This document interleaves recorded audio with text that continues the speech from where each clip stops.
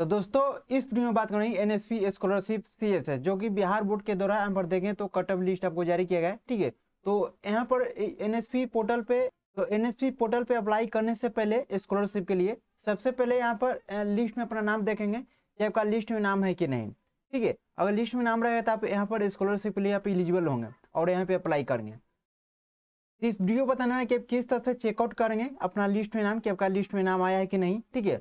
और इसका last date कब तक है फॉर्म भरने के लिए? तो ये भी इस वीडियो बताने वाले हैं। तो जब तक मेरे चैनल पर बंद रहे, अगर चैनल पर ना तो चैनल को सब्सक्राइब कर रखिए। वीडियो अच्छा लगे तो लाइक कीजिए और शेयर भी कर दीजिए, क्योंकि और लोग को भी जानकारी हो सके। यानी एनएसपी पोर्टल पे फॉर्म भरने से पहले, ठीक है, सबसे पहले अपना लिस्ट में नाम देख लेंगे। तो लिस्ट में नाम देखने के लिए सबसे पहले इसका वेबसाइट पे चलेंगे secondary dot Bihar board online dot com ठीक है, इस साइट पे चलेंगे। साइट पे आने के बाद यहाँ पे नीचे आएँगे और यहाँ पर देखेंगे संकाई बाई यहाँ पे आपको कटअप यहाँ पे जारी किया गया, जैसे कि आर्ट्स के लिए अलग है साइंस के लिए अलग है कॉमर्स के लिए अलग है। जैसे मान लिया आप साइंस हैं तो साइंस वाला ऑप्शन पर क्लिक करेंगे। साइंस वाला ऑप्शन पर जैसे ही क्लिक किए तो देखिए आपका इस तरह से यहाँ पे पीडीएफ आपको डाउनलोड होगा। अब यहाँ पे इस लिस्ट में नाम सर्च करने के लिए सबसे पहले यहाँ पे क्या करेंगे? नाम से भी खोज सकते हैं, यहाँ पे नाम से भी जो भी आपका नाम है, ठीक है। यहाँ पर नाम से भी खोज सकते हैं। अगर नाम यहाँ पे रहेगा तो बताएगा, ठीक है, इस तरह से करेंगे। तो देखिए, नाम जो जो रहेगा जैसे हम किरण सर्च किए तो किरण नाम से जितना भी लड़की होंगे यहाँ पे बताएगा, ठीक है। तो यहाँ पे नाम से सर्च करेंगे तो बहुत सारा यहाँ पे कैंडिडेट का आपको नाम देखने को मिलेगा। बट अब क्या करेंगे, आप रोल रोल कोड और रोल नंबर के माध्यम से सर्च करेंगे। जो भी आपका इंटर का रोल कोड है और रोल नंबर है तो जैसी सर्च कीजिएगा, रोल कोड, रोल नंबर के माध्यम से तो आपका सेम जो कैंडिडेट का रोल कोड, रोल नंबर आएगा तो आपको सर्च करके बता देगा। जैसे कि एक कैंडिडेट का हम सर्च करके बताते हैं।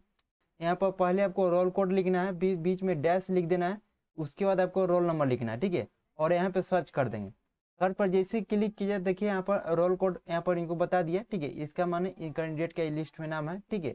यहाँ पे सारा यहाँ पर डिटेल बता देगा कटअप बताएगा कितना नंबर आया था, ठीक है? सारा डिटेल इसमें बता देगा। तो अपना इस तरह से सर्च करेंगे। अगर इस लिस्ट में आपको नाम बता रहा है, ठीक है? तो आप यहाँ पे स्कॉलरशिप लिए अप्लाई कर सकते हैं, ठीक है?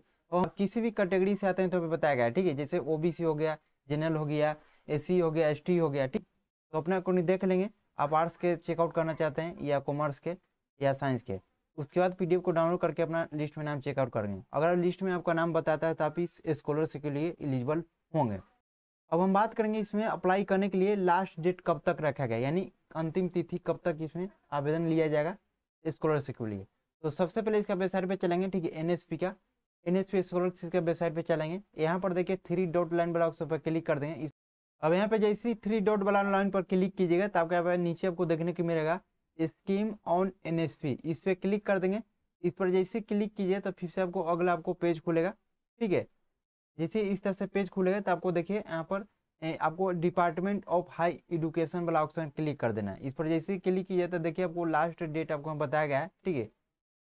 ये अप्लाई करने का लास्ट डेट कब तक है?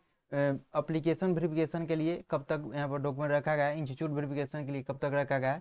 तो ये सभी डिटेल तो ये सभी जो डेट यहाँ पे मेंशन किया गया है, आपका यहाँ पर आवेदन लिया जाएगा लास्ट आप 31 अक्टूबर तक, यानी 31 अक्टूबर 2024 तक इसमें अप्लाई कर सकते हैं, ठीक है? लास्ट इसका डेट आपको इकतीस दस दो तक यहाँ पे रखा गया है। ये आपका लास्ट डेट आपको रहने वाला है। तो जितना भी कैंडिडेट अगर लिस्ट में नाम चेकआउट करना चाहते हैं तो आप इसी प्रोसेस के माध्यम से चेकआउट कर लेंगे। अगर लिस्ट में नाम आपको बताता है, इस स्कॉलरशिप के लिए आप एलिजिबल यहाँ पे होंगे। और फॉर्म भरने से पहले आप एक बार डॉक्यूमेंट सभी तैयारी रखेंगे, ठीक है? क्या क्या डॉक्यूमेंट लगेगा, इस चैनल पर वीडियो मिल जाएगा, उस वीडियो को देखकर सभी डॉक्यूमेंट के बारे में जान सकते हैं। तो चलिए इस वीडियो तक ही, मिलते हैं फिर एक नए वीडियो के साथ।